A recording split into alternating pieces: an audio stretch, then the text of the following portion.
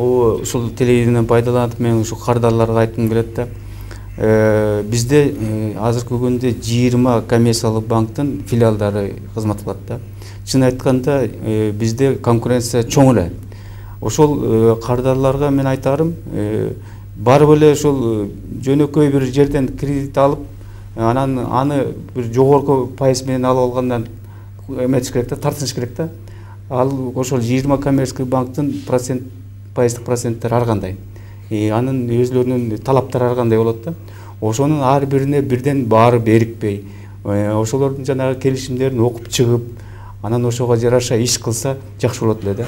Ушундай кылбай эле бул киши айткандай жеңилирээк анан батыраак анан тааныш менен бергендерден баягы пайызын карабай туруп алып алышып эле анан ушу кыйналып аткандар бир четинен ушундай болуп атат да hozir suhbatimizda foizlar haqida so'z ochildi. O'sh shahrida shu kreditlarning eng ozi va eng ko'p miqdori ustama foizi qancha miqdorda? Shu haqida ham tomoshabinlar qiziqadi. Shularga javob berib o'tsanglar. Баягы ар бир отуруско жараша кетет да бизде өзүңүздөр билесиздер сельское хозяйство баягы чарбасы деген бар промышленность деген бар анан соода тармагы деген бар коммерциялык иштер деген бар ушулардын ар бир коммерческий банктын баягы кредиттик саясатында мындай көргөзүлгөн да айыл чарбасында кичине азыраак промышленностька азыраак анан жана соодага коммерцияга кичине көбүрөөк коюшат да. Ушундай потребительский кредит деген бар ушуга көбүрөөк коюшат да. Анан бүгүнкү күндө мына он алты проценттен жыйырма жети процентке чейин баягы колеблется tomoshabinlaridan kelgan savollar o'rtasida shunday bir savol ham borki biz bankdan kredit olganmiz qirq to'rt ming so'm miqdorida deydi. Uni qanday qilib uzaytirsa bo'ladi deb murojaat qiladi tomoshabin bunga qanday javob bergan bo'lar edingiz?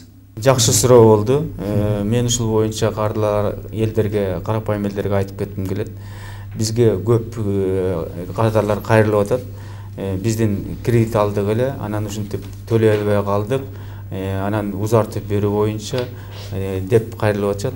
Анан мен ушул улуттук банкка келгенде мен айтып атам да ошол алган банкыңарга кайрылдыңар беле кайрылсаңар ошонун кайрылган кагазыңардын жообун көргөзгүлөчү десем эч кимиси мындай толук түрдө көргөзө албайт да.